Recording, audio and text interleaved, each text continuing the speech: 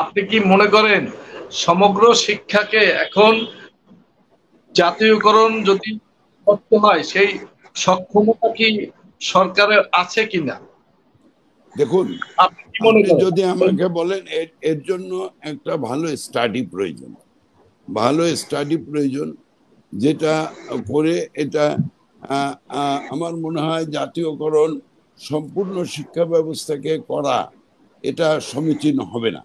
এটা আমার ব্যক্তিগত ধারণা। আমার মতে প্রথমে মাধ্যমিক পর্যায় পর্যন্ত করতে হবে। এখন আছে আপনার প্রাথমিক পর্যায় পর্যন্ত। এটাকে প্রথমে মাধ্যমিক পর্যায় পর্যন্ত, তারপরে উচ্চ মাধ্যমিক পর্যায় পর্যন্ত করে উচ্চ শিক্ষার ক্ষেত্রটা আমার মনে হয় সম্পূর্ণ জাতীয়করণের কোনো প্রয়োজন নাই। সেখানে প্রাইভেট এবং পাবলিক উভয় বিশ্ববিদ্যালয় পাশাপাশি থাকতে পারে। যাদের সামর্থ্য আছে তারা পাবলিক বিশ্ববিদ্যালয়ে প্রাইভেট বিশ্ববিদ্যালয়ে পড়বে। আর যারা ভালো মেধাবী, যারা যোগ্যতা সম্পন্ন আছেন, তারা পাবলিক বিশ্ববিদ্যালয়ে পড়বেন।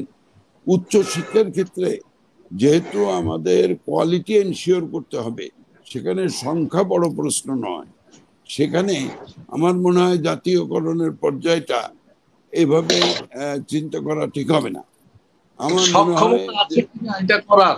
সরকারের শিক্ষামন্ত্রী মহোদয় বলছেন যে সক্ষমতা নাই। আপনার কাছে আমার আমার কাছে মনে হয় যে মাধ্যমিক পর্যায় পর্যন্ত সক্ষমতা সরকারের আছে।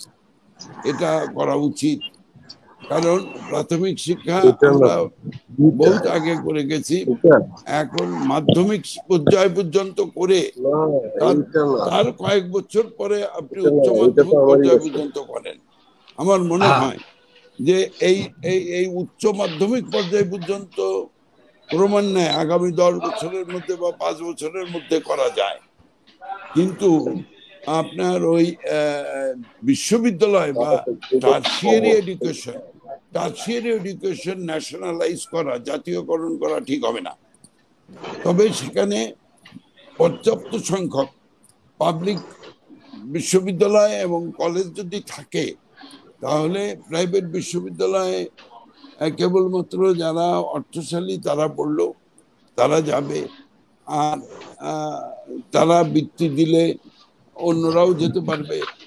কিন্তু আমি যেটা মনে করি যে মাধ্যম উচ্চ মাধ্যমিক পর্যন্ত জাতীয়করণের সক্ষমতা সরকারের আছে এবং এটা করা উচিত।